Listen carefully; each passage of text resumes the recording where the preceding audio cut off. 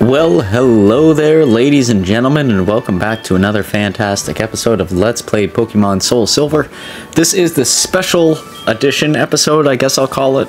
You know, uh, every other week we're going to be coming out with an episode of this on Saturday, so this is really a bonus episode to everything going on and with that I'm going to take a lot of liberties on cutting a lot of junk out and just showing like the nitty gritty stuff. So today we're going to be doing the ruins of Alph, the majority of the next route which I think is like route 32 we'll have some evolutions there you know some good stuff there. And we will also have um, a little teaser for what's to come for the next episode. So hopefully you like this episode. I'm going to put it in the beginning here. If you do like this episode, please feel free to like, comment, subscribe. All that good stuff is free for you on your end and greatly motivates myself to make videos just like this in the near future.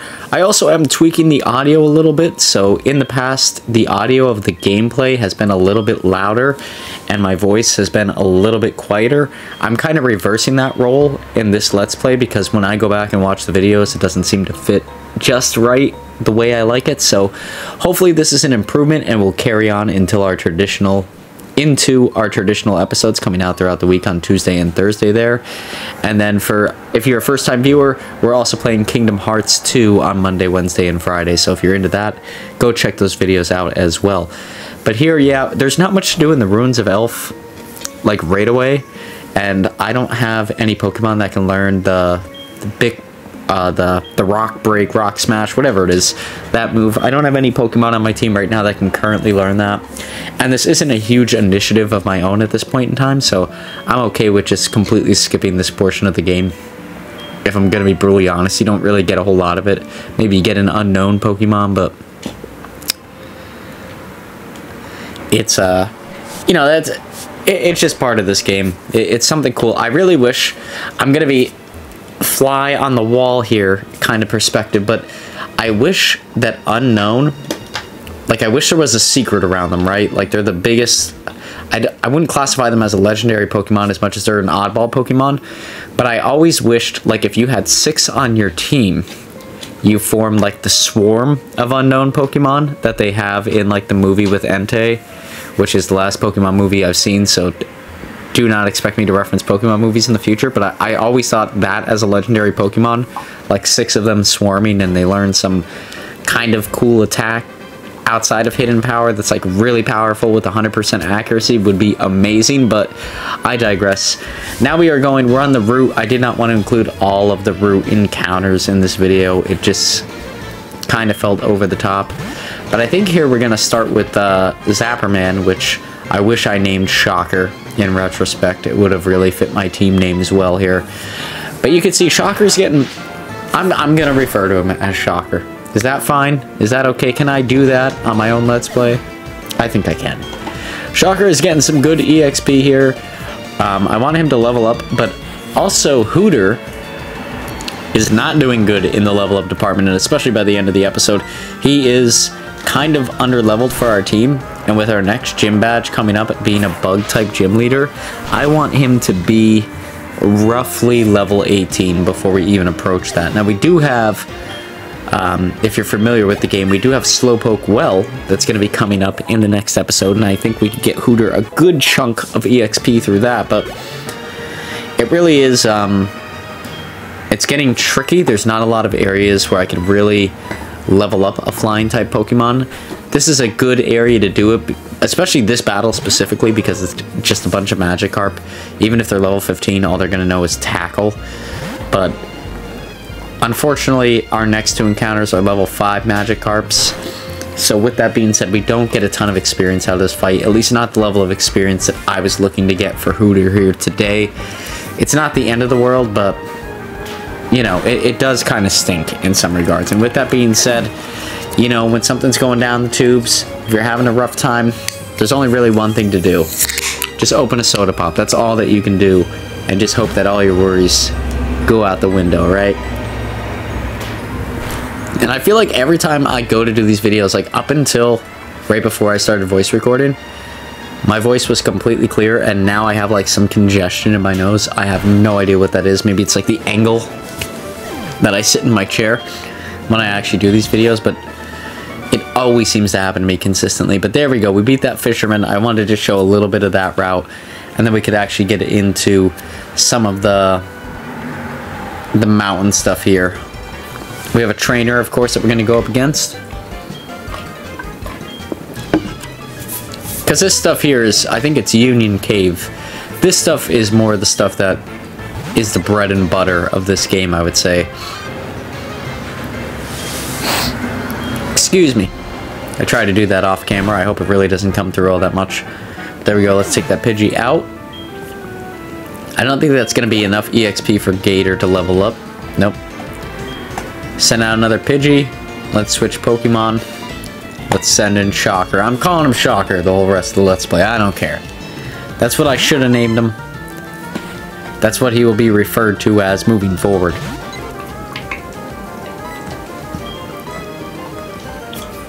Let's do a Thunder Shock here. This should be a one-hit KO. This should be really easy for Shocker. A no-brainer win.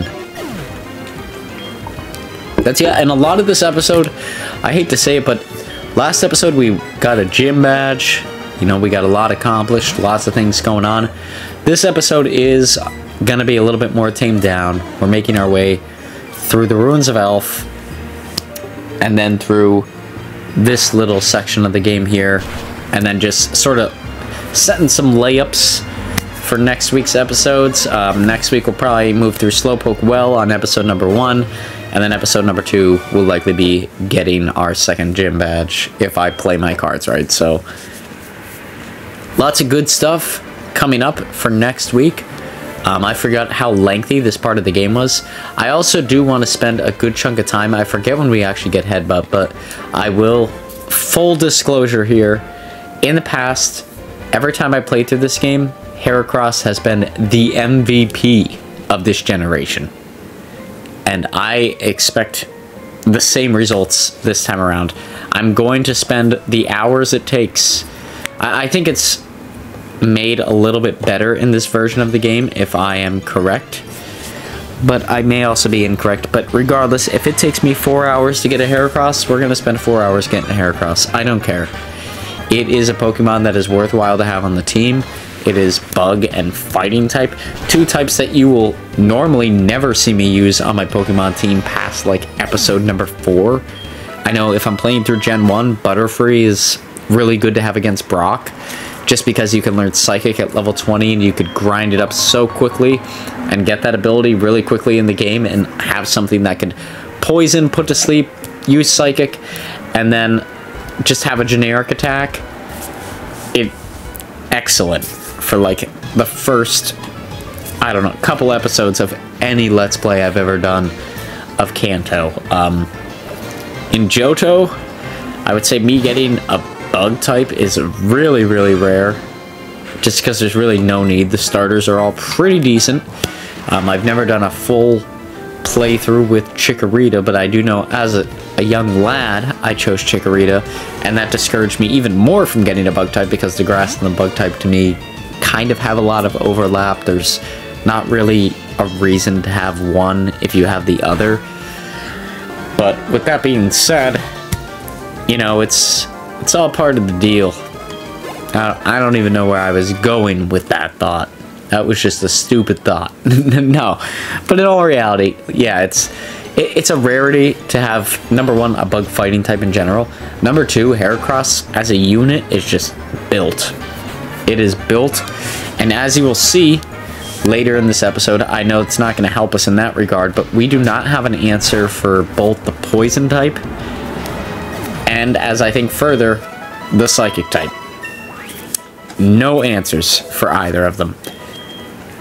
So I do think it's going to be important to have answers for both of them, and I think Heracross is going to be a good fit for the Psychic type Pokemon, especially learning Megahorn.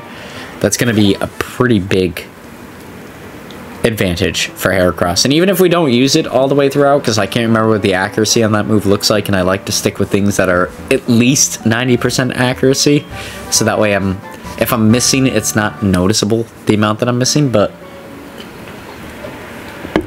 even if we don't stick with that platform, I think overall, Heracross is a strong Pokemon and one of my favorite Gen 2 Pokemon. It might be my favorite Gen 2 Pokemon outside of the starters that was put out there. It is such a unique Pokemon. It has gotten me out of so many situations. I know when I played through Gen 2 last time on the channel, I did not do a Nuzlocke. It was just a casual play. I went out. I spent hours. You can go and look back on that playlist. I spent a full episode, I think, trying to get Heracross, and I took three hours of content and made it into like a 40 minute video. And when we finally got him, I was ecstatic. And he did turn out to be an amazing team member throughout the entirety of the Let's Play. So I'm expecting the same results here and sticking with my rules that I set out for this Let's Play with just the simple fact being number one, don't pick Cyndaquil because it makes the game overly easy. And then number two, only use Generation 2 Pokemon. He fits that mold. There's really no side effect on my rules to getting him, and I can't have Kadabra, so I might as well get what, in my opinion, is one of the greatest Gen 2 Pokemon on my team.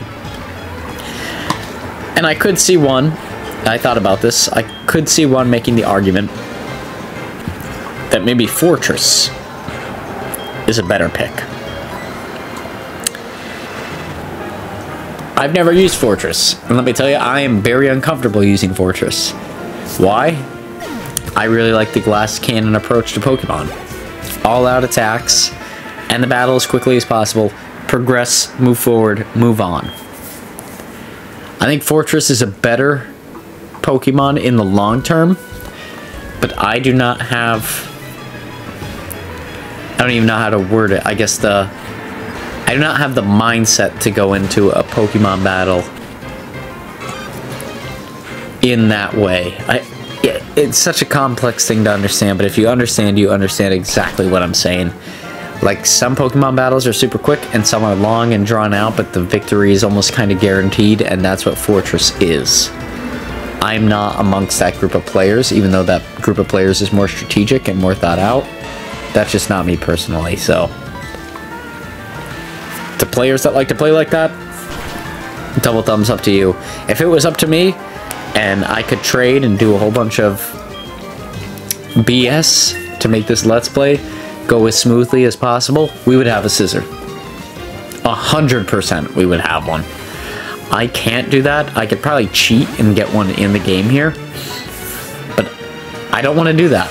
I feel like that's really unfair to you guys watching the video. Just somebody playing through the game as whatever, uh, just, you know, a solo playthrough, you can't get Scizor. But I would say if there was one Pokemon that I would play Heracross with, it is Scizor. Scizor is a dominant Pokemon. It is a killer. It is likely... Uh, uh it's in the top five with Heracross. I have to give it that. If you're excluding the starters, Scizor and Heracross are probably tied for me. I used Scizor in Pokemon Let's Go Arceus. I was able to capture in like one of the void situations there that happened in that game, and I have to tell you, it performed. It was a powerhouse throughout all of that game. I only got rid of it because I really wanted to see what using a Rhydon would feel like, and I felt like in a lot of instances, Rhydon's a bit slower, but it's as hard hitter as Scizor is. And honestly, I wish I stuck that game out, out with Scizor. Because Scizor was a great Pokemon. And like I've said before, I don't know if I've actually said it like on a Let's Play episode, but I've definitely briefly mentioned it on a couple of other things going on. I plan to do Nuzlockes on all of these games in the future. I want to do like the, the most relevant version, right? So for Gen 1, we're going to do Pokemon Yellow. For Gen 2, we're going to do... Shit, what is the definitive version? Is it Crystal? I think it's Crystal, because I think there's Silver, Gold, yeah, Crystal is the definitive version. Gen 3, we're going to do Emerald. For these ones, it's going to be a toss-up. I'll leave it up for you guys to decide, but I do want to do Nuzlockes on all of these games once I beat them through. Um, and then we could even revisit and come back and do like 100% versions if we wanted to. But I'll, I'll leave that up to you guys if that's stuff that you guys want to see. I think at that rate we're planning things out years in advance, which I can't possibly do as a human being because I don't know what's going on next week, let alone a year from now. I do have a list of games picked out that I'd like to play a year from now on the channel, but it changes pretty rapidly. Because I do like to keep a good mix of like these old games that I play here mixed with the new games. Um, the biggest thing I have going against me right now is I really wish we were doing a Let's Play of the new Zelda game that just came out because that looks fantastic from everything I've seen and I'm gonna be brutally honest I am playing it on the side I am having a ton of fun with the game but I really don't know how to like split that up into a let's play format without this channel becoming like this big time streaming channel I guess is the best way to put it. That's what it would have to turn into. And with the amount of subscribers I have I just don't feel like that's a viable thing to do at this point in time.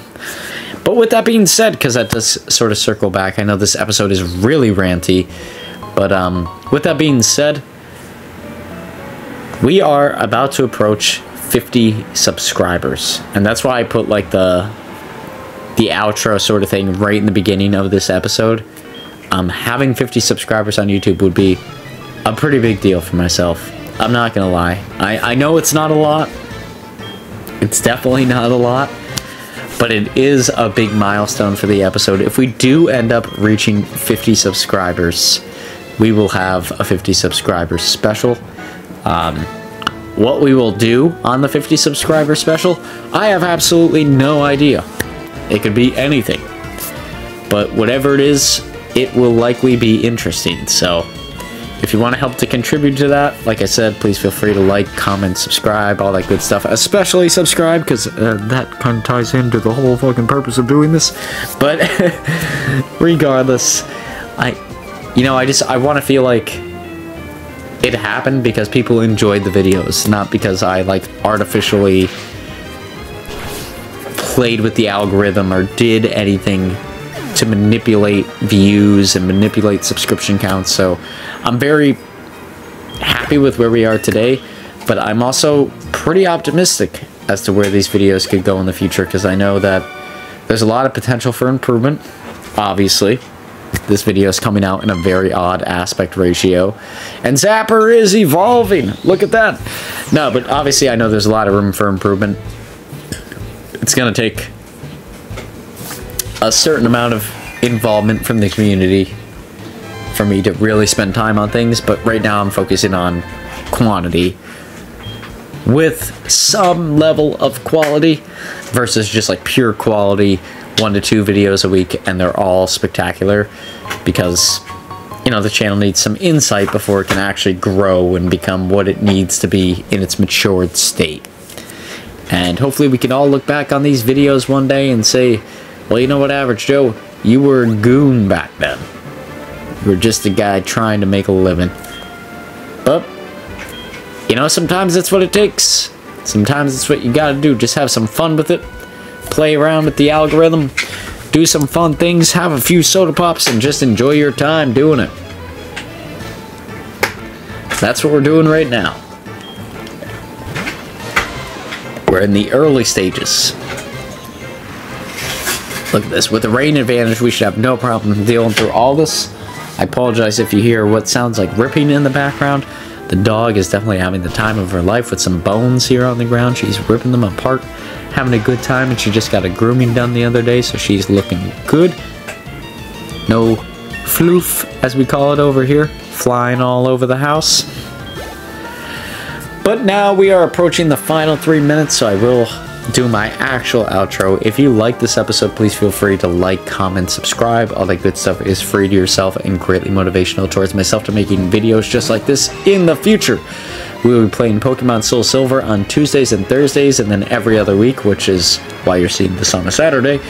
Every other week, we'll be posting a video on a Saturday because I know it's a longer game and I want to get through it in a two month time span. And quite honestly, I feel like we're not going to do that. But I'm going to try my best to do so. And then we will be playing Kingdom Hearts 2, one of my favorite games on the PlayStation 2 of all time. on Monday, Wednesday, and Friday. I've been having a ton of fun with that Let's Play. I really need to clean it up and get it so that way it's like one world per episode at this point in time, but we are slowly making our way towards doing that, and I feel like it's going to turn out to be a fantastic Let's Play because I have so much love for that game and that franchise as a whole, even though it gets convoluted and whatever. It's it's a mess. I get it, but we are slowly working towards making that the best possible outcome it could be. But with that being said here, ladies and gentlemen, we do have about two minutes left. I normally do like to exit a little bit earlier. Um, I'm going to go on the grass here a little bit, and I'm going to train. And then, um, yeah, you'll get a little sneak peek as to what the hot topic will be next episode. It's the return of a particular team, which will likely be the name of the next episode because that's going to be like the central focus that they are back. But I'll let you enjoy that on your own without my amazing voiceover. and uh, yeah, that'll be it. Uh, I hope you all had a snazzy and fantastic week this week. And uh, we hope to see you all here on the next one coming out on Tuesday. Or if you're a Kingdom Hearts fan, we will see you on Monday. Peace out, Girl Scouts. Enjoy the rest of the video without the voiceover, I guess.